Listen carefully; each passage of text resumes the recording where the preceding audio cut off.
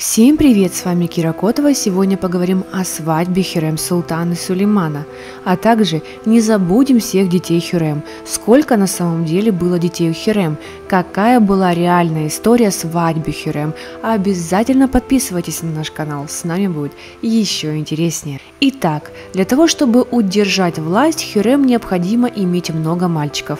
Но она даже не предполагала, что самым любимым ребенком, который поможет сблизиться Хюрем и Сулейманом, Сулеймана будет дочка.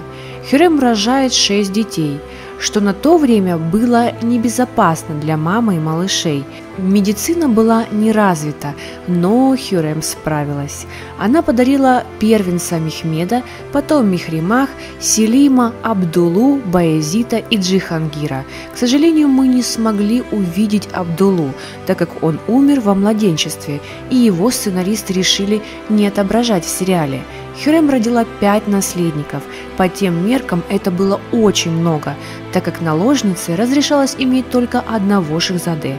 Через 10 лет Сулейман принимает решение освободить Хюрем. К сожалению, из-за интриг султанши народ ее не сильно любил. Именно ее предпочитают винить в смерти Мустафы.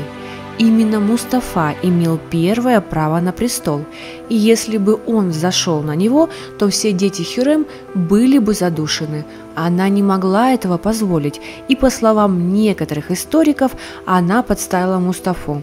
Но есть и другие версии о том, что Мустафа и вправду хотел свергнуть отца, так как сам уже старел – но давайте вернемся к Никаху между Херем и Сулейманом. Султанша стала первой женщиной, на которой женился сам султан.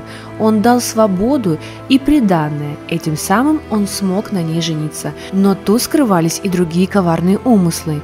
Не все так просто, как казалось бы. Более подробнее вы сможете увидеть в видео по ссылке выше. Брак был заключен в 1530 году в Стамбуле. Также Сулейман придумал звание Хасики. Он пытался подчеркнуть особый статус Хюрем в гареме, этим самым дав ей возможность участвовать в политике Османской империи. Она часто списывалась с королевами и принимала гостей с открытым лицом рядом с троном султана. Также султанша любила благотворительность. Она построила несколько комплексов, где были мечети, школы, больницы, но, к сожалению, в Турции Хюрем по сей день так и не полюбили. Негоже быть такой смелой, сильной и властной женщиной в Османской империи. Что вы думаете по этому поводу? Обязательно подписывайтесь на наш канал, ставьте пальчики вверх и не забывайте нажимать на колокольчик, чтобы не пропустить наши видео. С нами будет еще интереснее. Прольется очень много крови. Чьей крови? Это будет кровь моих врагов никого не пощажу.